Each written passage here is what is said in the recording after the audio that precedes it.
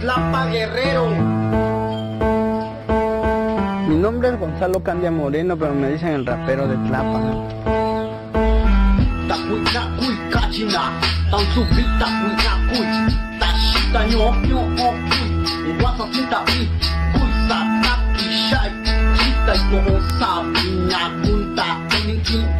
Yo estoy rescatando la lengua. ¿eh? Claro, no a todos les gusta, ¿eh? Porque dicen que no está bien, que es algo que no va con el rap. Gonzalo es indígena nazabi de la montaña de Guerrero. Rapea desde hace más de una década. Lo aprendió en las calles de New Jersey y la Florida en su vida como indocumentado. Cuando empecé fue cuando me discriminaban. Empezó todo allá en Estados Unidos. Ya cuando me deportaron me vine por acá, para México. Llegué acá y es lo mismo acá también. Pero aquí el que discrimina son las mismas personas que hablan dialecto. Entonces yo agarré mi libreta y empecé a hacer en mi lengua este, la letra y todo eso. Es considerado un fenómeno musical. Sus letras circulan en internet y en pequeños circuitos de jóvenes raperos. En Tlapa de Comonfort tiene su peluquería. El oficio lo aprendió en los suburbios de Estados Unidos. Pero este pequeño local es más que un sitio de trabajo. Aquí confluyen otros que como él se identifican con el rap. Vamos a hacer algo de freestyle. Esta vez con el rapero de la montaña. Esta vez improvisamos. Aquí todos estamos, somos una sola raza.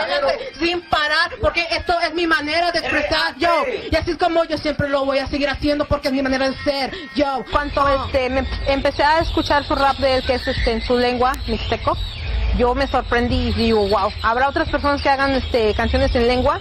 La espera terminó, por fin llegó la métrica perfecta, guardada mucho tiempo en mi libreta, la letra que proyecta otro mundo, la forma diferente En esta región el rap es un sonido presente desde hace casi 10 años. Colectivos juveniles luchan por abrir espacios para su manifestación artística cargada de simbolismos, de migración, discriminación y la violencia. Es, afirman, su forma de resistir y cuestionar esa comunidad que transita entre la cosmovisión indígena y el apabullante urbanismo. Una computadora es suficiente para hacer sus mezclas y canciones.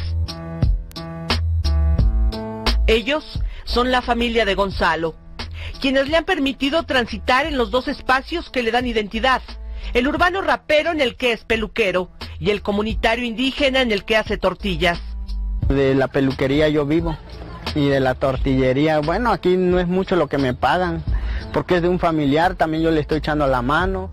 Hasta el momento el rapero de Tlapa, como se hace llamar, tiene 10 canciones grabadas, una de ellas en Sabi o mixteco, pero no les ha escrito solo. Elvia, su pareja, compone y canta con él. Oye, nena, no sientas pena, no hagas esa escena con tus padres en la cena. Dicho tus amigas que te quieres deshacer de esa inocente vida que Dios ya lo Ninguno de los dos ha estudiado música. Es más, ni siquiera cuentan con una computadora para hacer sus mezclas y bases musicales. Si nos gusta cantar, pues por lo menos, si nadie nos escuchó, pues hay que guardar los discos cuando ya estamos viejitos, ya me escuchan. cuando queremos conseguir las pistas, vamos a un, a un ciber. Ujú, Ahí conseguimos las pistas. La música no se oye con este ritmo. A lo mejor la pista va para allá y nosotros vamos para acá. Sí, a veces también cuando la pista, el disco está rayado ya todo se fue abajo. Y ahorita apenas estoy aprendiendo eso de do, re, todo eso. Tienen escritas y en proyecto más canciones en mixteco, pero no han podido salir de esa libreta. Grabar cada canción les cuesta en promedio 200 pesos que apenas los ganan en una semana de trabajo conjunto en la tortillería. Desde hace tres años, Gonzalo graba su música en el estudio de Don Juanelo, quien fue el primero en confiar en su talento.